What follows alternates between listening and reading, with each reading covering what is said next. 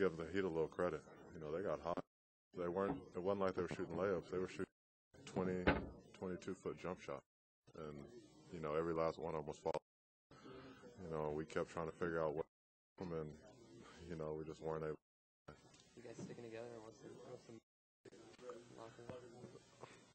But you know, everyone's frustrated. Everyone's a little down. This is our job. We're gonna keep working. We got to go out there and battle, and try to make the most of uh, that we have left. You know, it's it's important season for everybody, but let's go out there, keep battling, keep fighting. You know, hopefully get a few wins here, and then you know start building. Yeah, for next year. we fought back. It was uh, a little bit too late. Um, gotta give them credit. They played well. Well, they, had, they hadn't played well though in a long stretch. I mean, this one's got really hit home because they come into here. I mean, low points you want to talk about in the season of low points. Yeah, you know.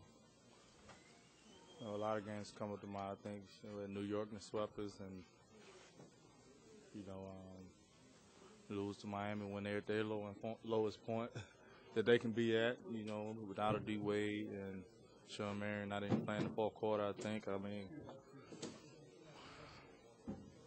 I mean, I'm I'm, I'm lost for words. You know, I'm lost.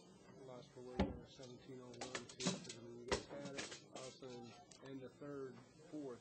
Just I really, I really don't know. You know, like I said, I'm really speechless. You know, I really don't have a lot of comments, you know, to make about it. You know, it's just, um, I don't know. at this point, obviously, as a team, where do you guys go? I mean, um, Obviously, Cleveland's next, but I mean, Cleveland's next, and um, you, you you have to, you know, um, come out and, you know, whatever you have, you have to bring it. You know, and um, it's definitely draining. It's definitely mental. It's a mental drain. And I'm speaking, you know, from a personal standpoint. But at the same time, you got to be professional about it. You have to, you know, play for the fans. I mean, um, I know the fans are disappointed. I mean, mean, I, can't be more disappointed. So you still have to be professional and um, respect the game. You know, got to respect the game.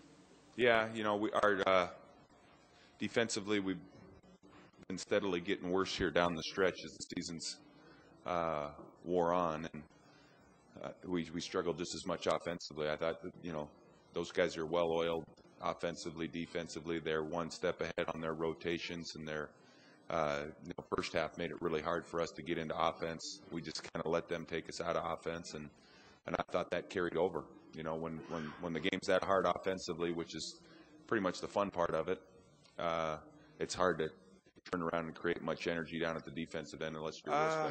You know, I wish wish we could put our our finger on it. I think a lot of it's uh, it's a real fine line, the energy that you need to bring to the table, and uh, at times I feel like you know it's a little bit you know where the the station that we're at right now with the season not going the way it you know we'd like it to go. Uh, we're not out there being real proactive and making plays and filled with a lot of energy, you know, and and uh, I think at this level we're talking about milliseconds in terms of reaction, and we just don't quite have that reaction and this and the pep in our step that we need to have.